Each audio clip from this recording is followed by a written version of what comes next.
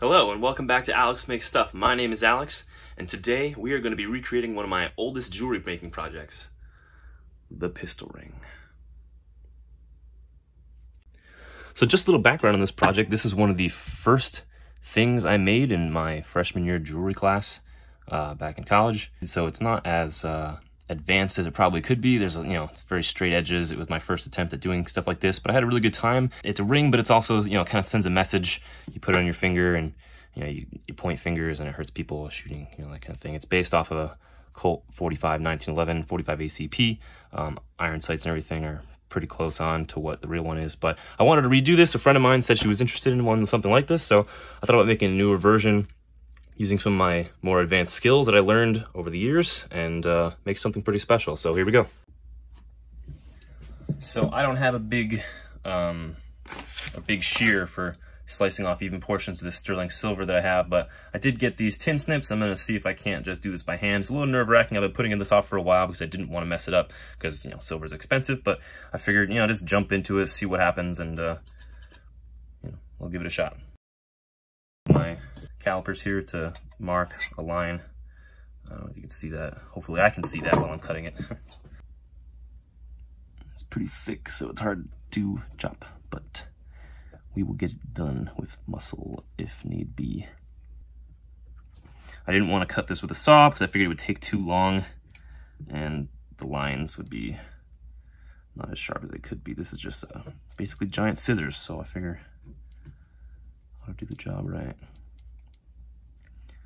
cut a few of these strips for the rings, and then I gotta cut a longer, thicker strip for the actual barrel part.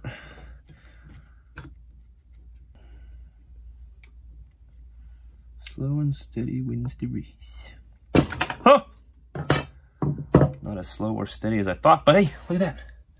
I cut a thing. Hey, and it's not awful. Uh, it may not be perfectly straight all the way around, but sanding is a beautiful thing. Let's do that a few more times.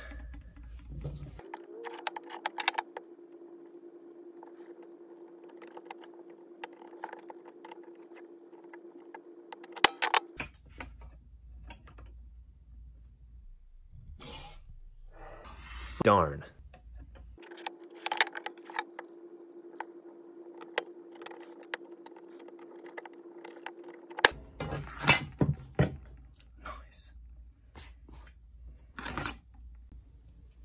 All right, I've got my three main pieces cut up here. I'm just gonna flatten them out a little bit on this little jewelry, whatever the heck you call it, um, with a mallet, just to straighten them out since they're a little warped from the actual chopping.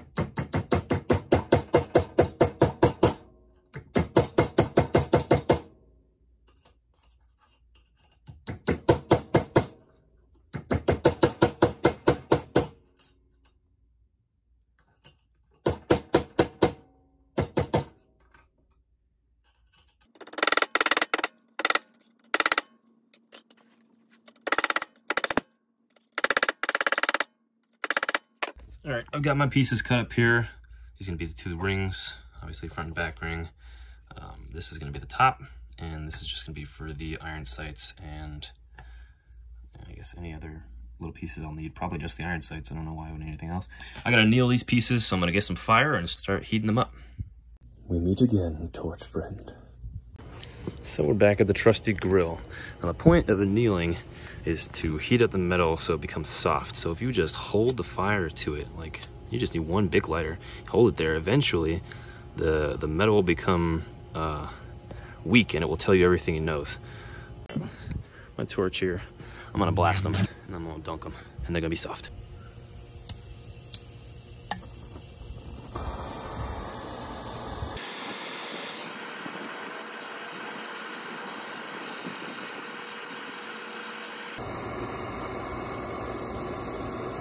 It with fire until you can see the flesh of the metal dance.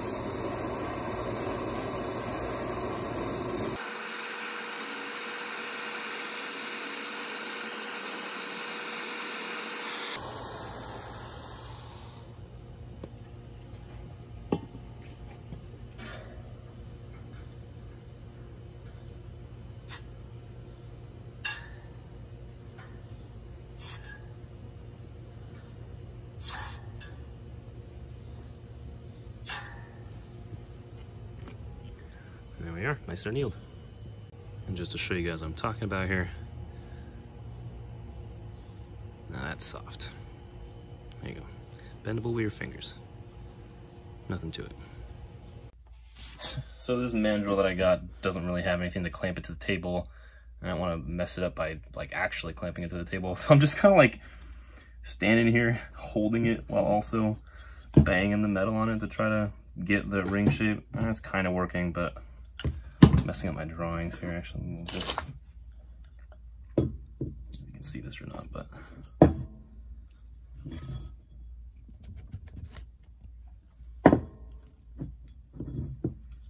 actually I bent it over my fingers the first time.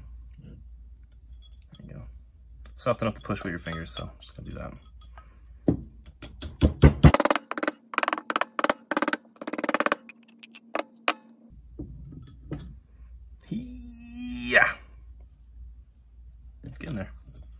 I got the other one already. It's uh, trying to get to a seven and a half ring size. That's what my friend said she fits, so keep working at this. one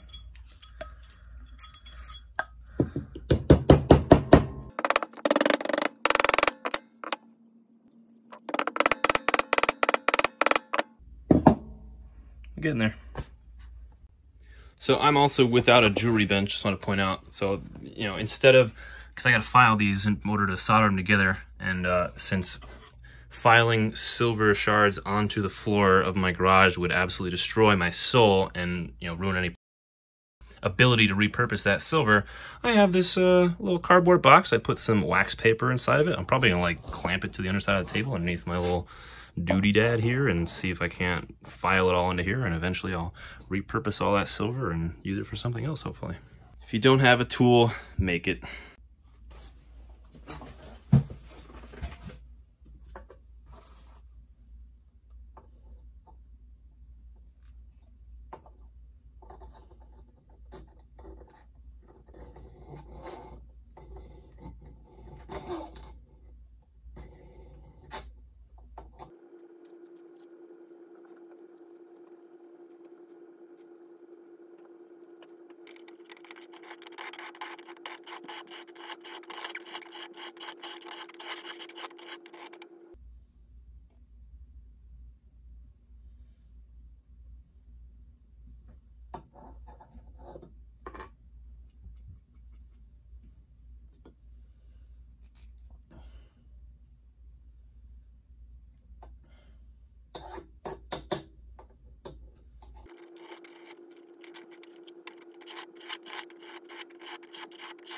ハハハハ!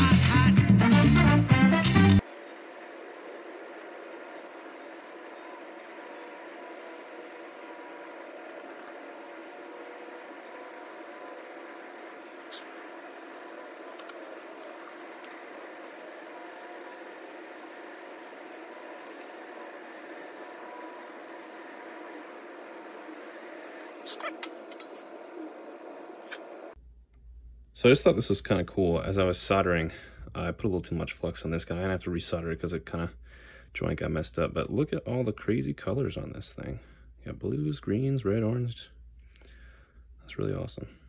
So the friend that I'm making this for wanted something special engraved instead of the regular 45 ACP like I did in the first one. So I'm going to engrave that now and uh, see how it turns out.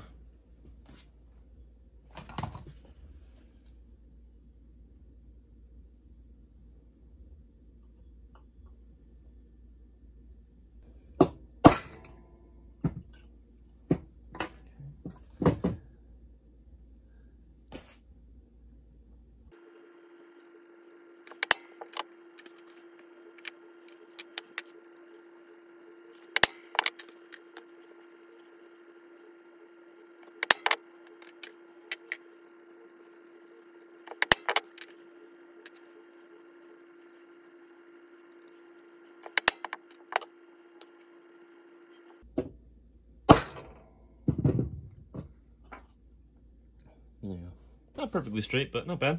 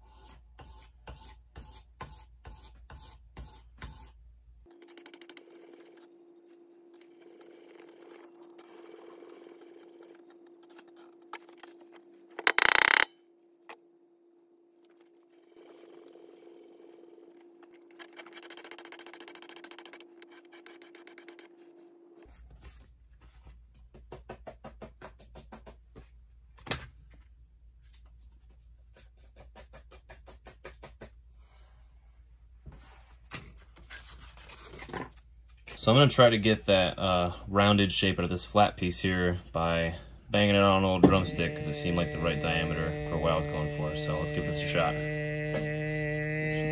This rubber mallet, a little softer. And that didn't work at all. That didn't work a little bit. Enjoy the next 10 seconds of me failing hardcore.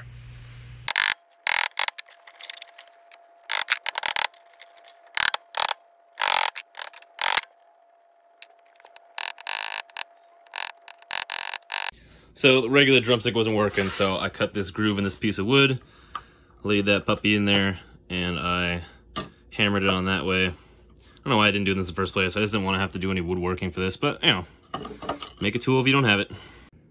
All right, here we are. Pretty well rounded. It fits uh, the smaller of the two rings. Where'd it go? I've lost it. No, there it is. See this. Uh,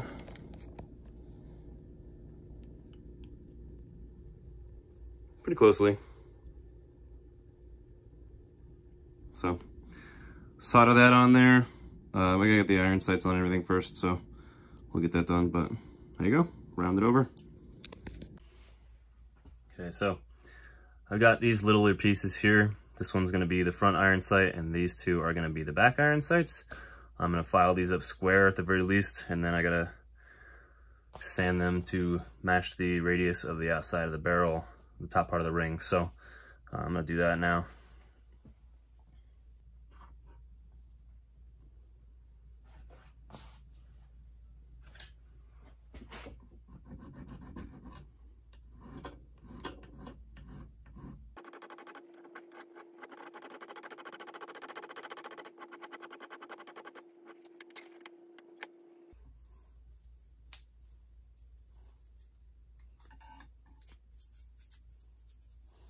Cut this one a little bit shorter. So I'm just gonna snip it.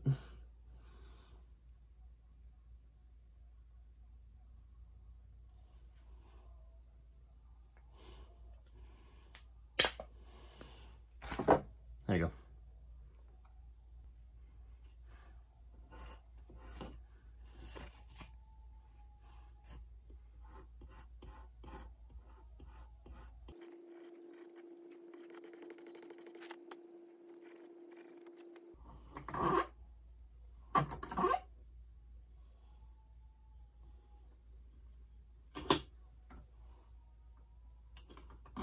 What are y'all doing?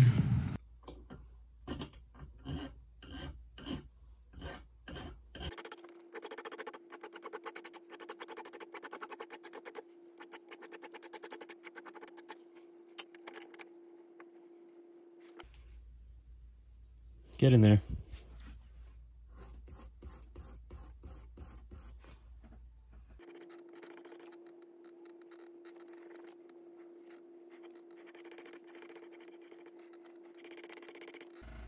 There we go.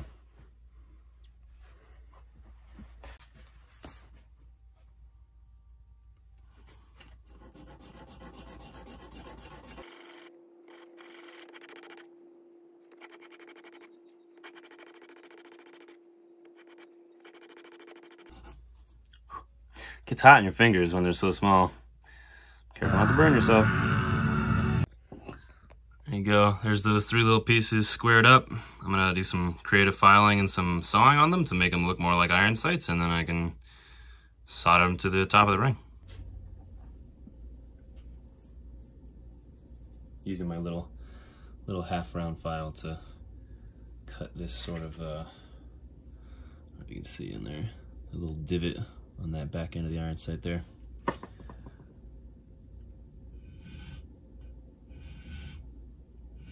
Doesn't have to be too deep, but I want it to be pronounced so you can actually, you know, see it.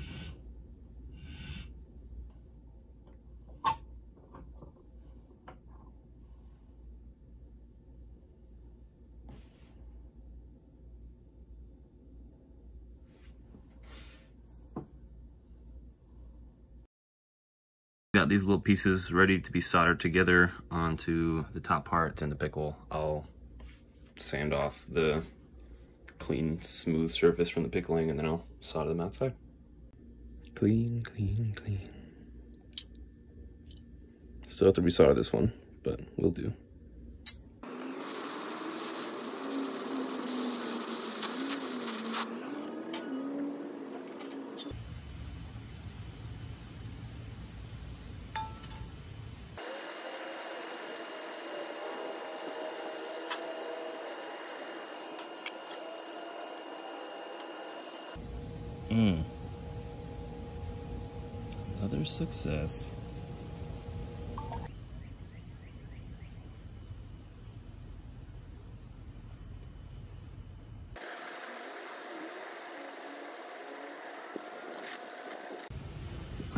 So there they all are, soldered, and cool. I gotta put them all back in the pickle to clean them back up and we'll see what they look like.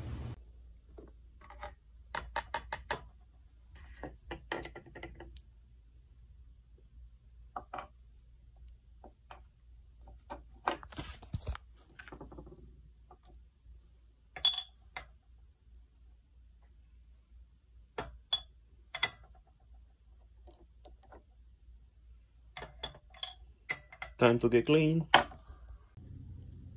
So you wash it after the ooh. So you wash it after the pickle. and it looks so good. It's like it's like solid white. I love sterling silver. It looks so cool. No need to resolder this bad boy though. Looks like that iron sight's on there. Pretty straight, mostly straight. Pew, pew, pew.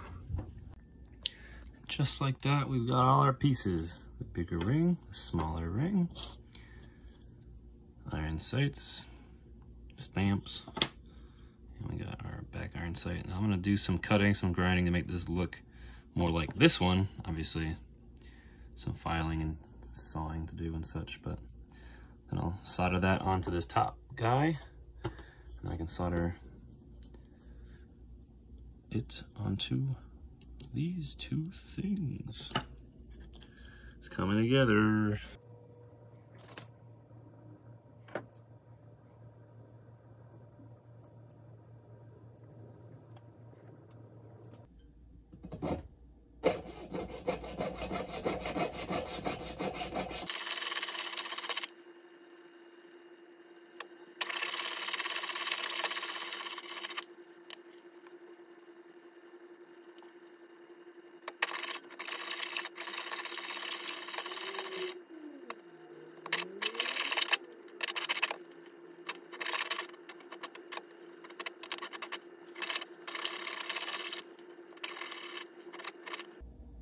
There we go. Initial cut's done.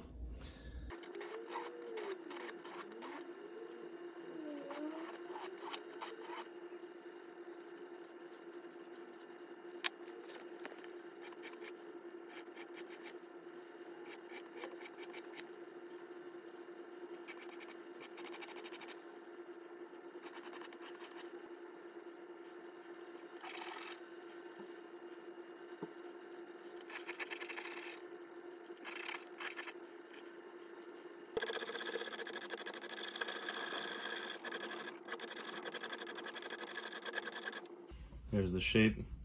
I gotta get that same circumference as the outside of this guy. I think maybe I'll put some sandpaper on that drumstick and use that since that's the same circumference I used to make the circumference of the ring.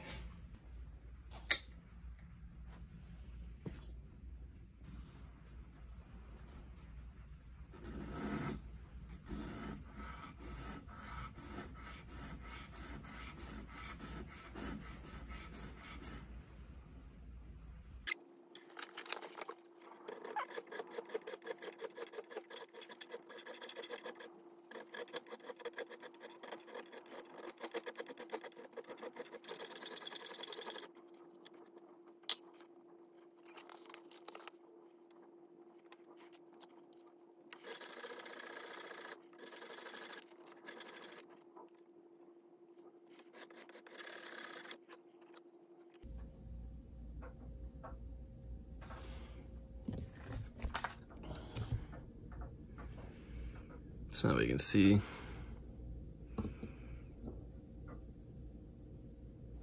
almost perfect. The solder should fill that nicely. That's pretty much that. I'm gonna try to get this one soldered quickly because it rained a little bit. I don't want it to rain while I'm soldering. It'll ruin the soldering, wouldn't it?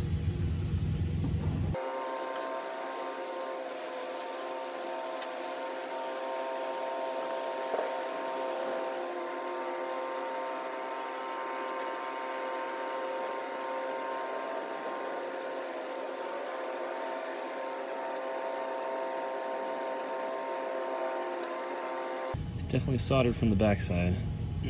see it's all solid in the front. Just a little bit of a gap in there. So I think I'll probably clean this up and then resolder the front with a medium solder instead of a hard solder so I don't remelt what I already done. Just to fill those gaps so it looks nicer. There we go.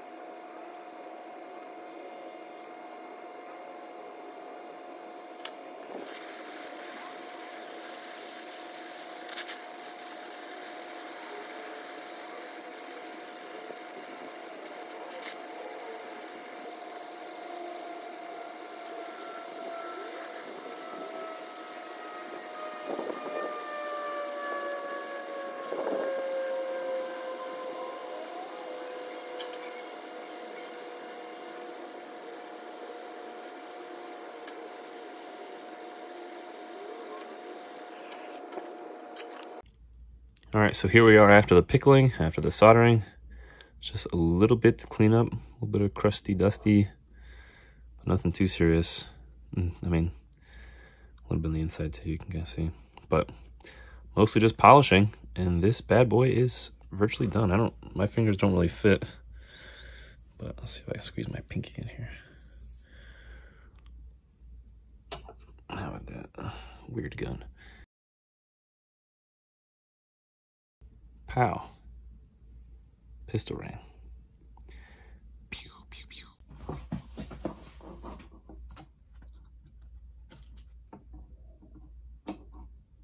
Mm-hmm.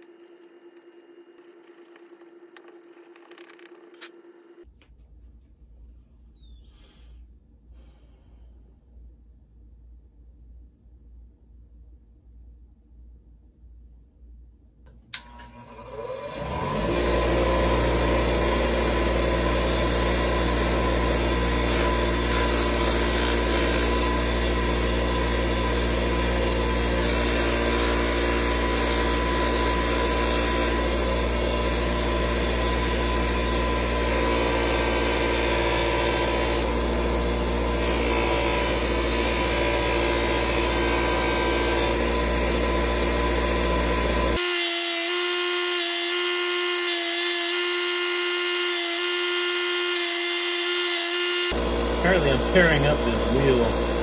whatever.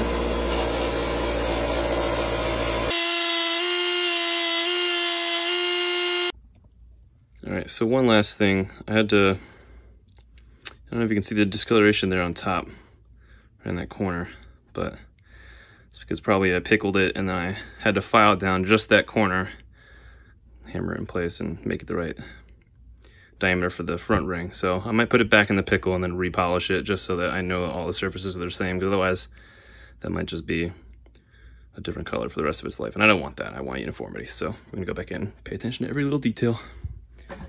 Back in the pickle. Plop. I'll leave it there for a little bit.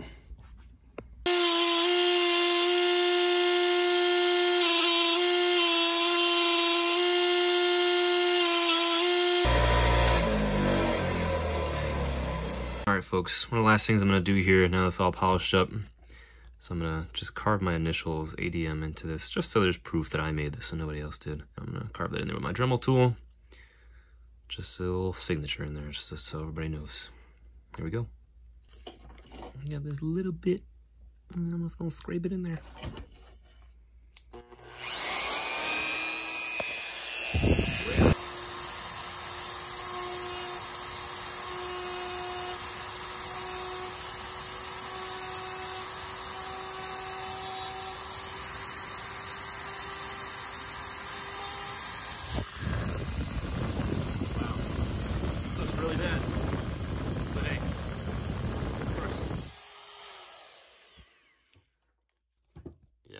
First time trying to draw with that thing. Almost looks like an O. But hey, Alexander Oglismeyer. Nice.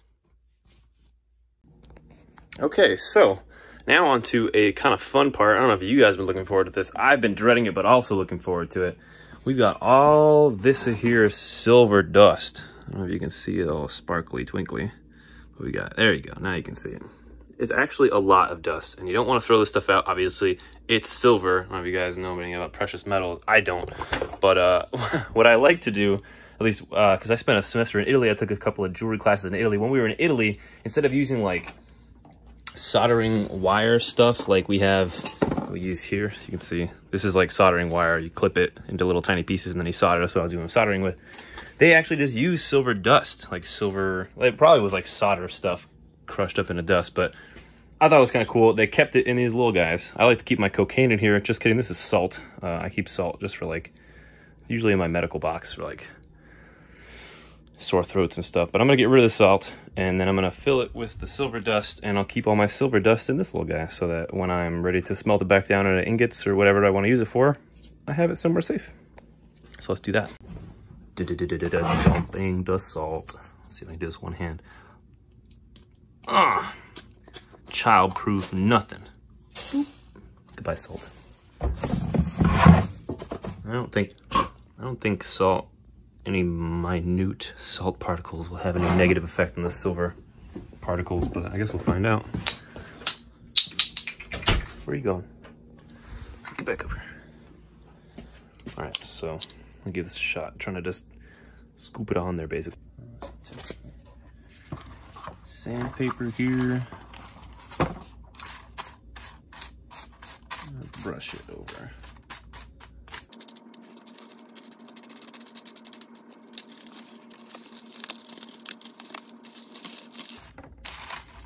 a lot of really fine silver dust. I guess I can't brush with the paper, so what I think I will do, usually I have like a knife on me, something sharp. Not for slicing and dicing, but for scraping. Let's see if I have one here. I I did. Where are we? Too many tools in my tool chest. Too many tools.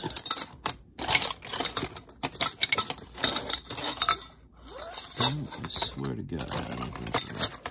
There she be. My knife for scraping. Let's get back to it here. Not scraping from here. What I'm gonna do, so you can see my finger. You can see that is covered in dust. I'm literally just gonna scrape it into my little cup here.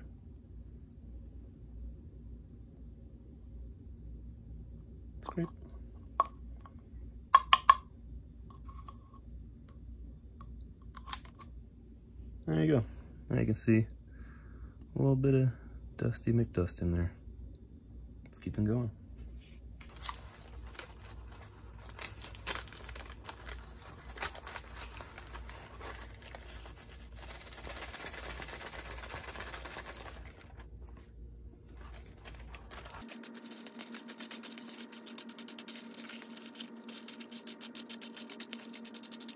A lot of this might actually be like sandpaper dust as well, because I did try to scrape as much of the sanded stuff from the sandpaper into here as well, because I want to be as conservative as possible. It's such a precious metal.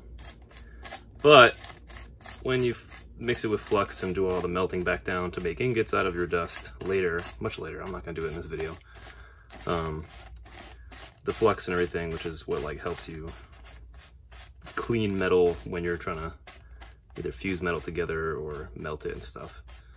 Um, should do a fine job of sorting all that gunk out, impurities and such, so no worries there. Um, yeah, because like you could because otherwise this stuff would not be as dark, I don't think. silver is not really this dark. Silver, contrary to popular belief, is silver not gray. So that's pretty much that. Let's delicately try to deposit this into here. Oop.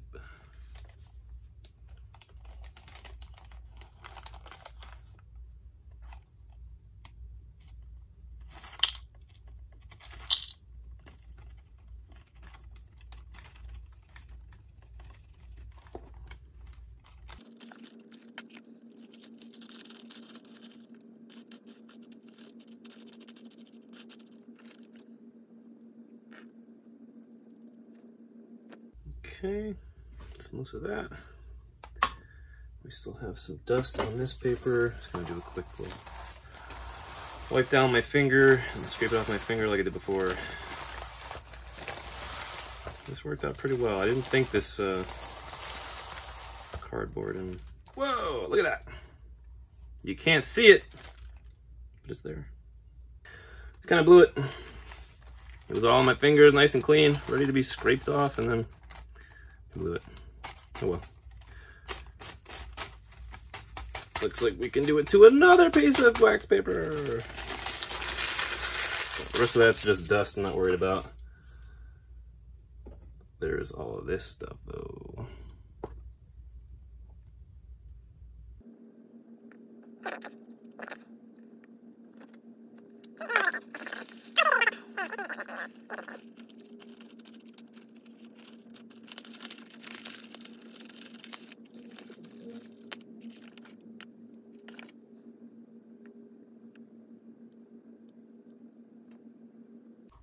Cool.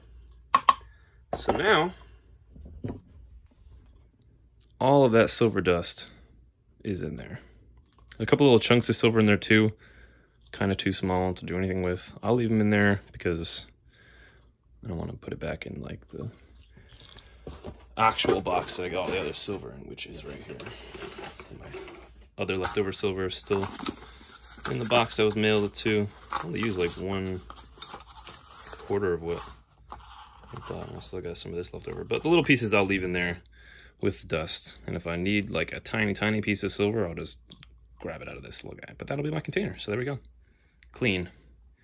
Well, that's pretty much it for this project, guys. Thank you so much for watching. At the time of recording this video, I've actually already mailed out the ring to my patrons, so I won't have any photo shoot stuff here, but you can check out my Instagram. I'll post a link to it right here, so you can check that out. If you enjoyed this video, leave a like and a comment below. If you're interested in something like this, feel free to leave me a DM. I love making stuff and I had a really good time making these videos, so I'm trying to do a lot more of this stuff in the future. Um, so keep you posted, but until next time.